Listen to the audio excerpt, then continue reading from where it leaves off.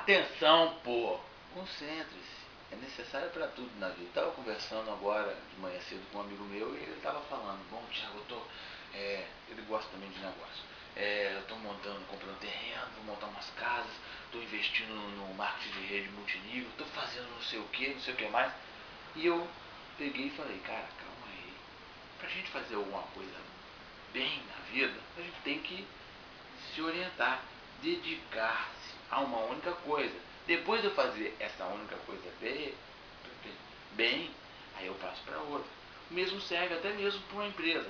Imagina, tem milhões de canais que você pode atingir o consumidor. Estratégias de marketing, é, tem telemarketing, tem ação direta, tem promoção, regras de competição que você pode, também pode usar para estimular é, mais clientes. Você pode fazer milhões de coisas.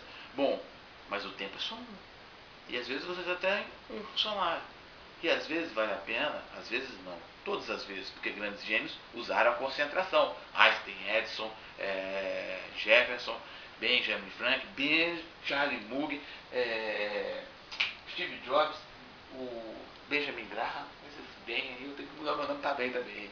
Eu tô brincando, é porque a gente citou pelo menos uns três aí na brincadeira. Mas bom, todos eles tiveram concentração extrema.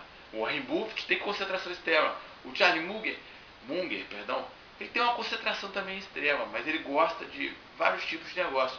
Já o Warren Buffett é um bilionário, ele também é bilionário, mas o Warren Buffett gosta mais de, aliás, ele só gosta daquilo, de ler relatório financeiro, que nem palavras que eu ouço dele.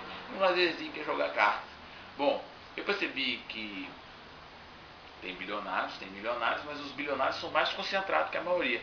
Geralmente as pessoas de destaque, desde filósofo a cientistas, também são altamente concentrados. Então, provavelmente essa será uma característica que todos nós devemos desenvolver ao longo de nossa vida.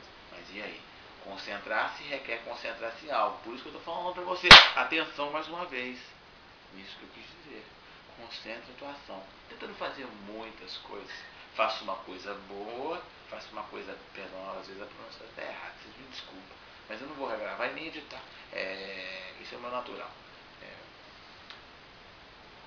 faça uma coisa bem, delegue, depois de você saber muito bem como realizar aquela ação, depois faça outra. Esse é o segredo.